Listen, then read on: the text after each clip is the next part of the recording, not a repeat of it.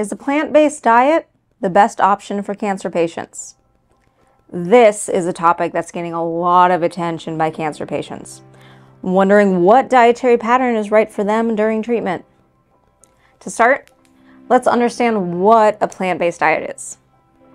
Essentially, it's a diet that focuses mainly on the intake of vegetables, fruits, whole grains, nuts, oil seeds, with limited or no intake of animal products. Now, why is this diet in the spotlight for cancer care? The reason lies in an abundance of nutrients and natural compounds this type of eating provides. Firstly, a plant-based diet is rich in antioxidants.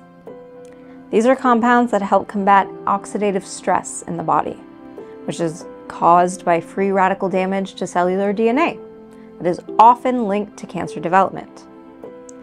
There are more than 25,000 phytochemicals in plant foods, and these account for the different colors you see in them. As antioxidants, many phytochemicals have been found to also have specific anti-cancer effects, like ellagic acid, making them valuable in a cancer-fighting diet. By eating a variety of colorful fruits and vegetables, cancer patients are boosting their antioxidant potential as well as increasing their intake of essential micronutrients, potentially helping to boost their immune function, repair oxidative damage to cellular DNA, and fight against cancer progression. Additionally, plant foods are both high in soluble and insoluble fiber. Fiber is essential for digestive and microbiome health, which heavily influences the body's response to treatments. Fiber also plays a role in maintaining a healthy weight through appetite control and the modulation of the gut microbiota. Excess adipose tissue is a known risk factor for several types of cancer, so maintaining a healthy weight through diet is crucial. It's important to note that while a plant-based or plant-focused diet can be beneficial, it's not, it's not a standalone cure for cancer.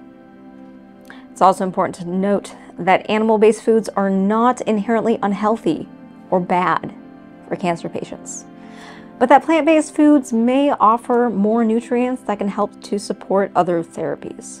Of course, every individual's nutritional needs, especially when undergoing cancer treatments, can differ. So it's essential for cancer patients considering a plant-based diet to consult with their doctors or a nutritionist specializing in cancer care. To sum it up, a plant-based diet rich in antioxidants, fiber, micronutrients, and phytochemicals can offer significant benefits to cancer patients. It supports overall health and can complement traditional cancer therapies. Whether or not a plant-based diet is best for cancer is entirely dependent on the individual and the individual's treatment plan. Remember that any dietary pattern should be tailored to the individual's needs and lifestyle and used as part of a comprehensive approach to cancer care. Thank you for joining me today. My name is Sarah Lily Harrington, nutritionist at Brio Medical in Scottsdale, Arizona. Subscribe to our YouTube channel. Follow us on Instagram, TikTok for more tips and videos to help you along your cancer journey.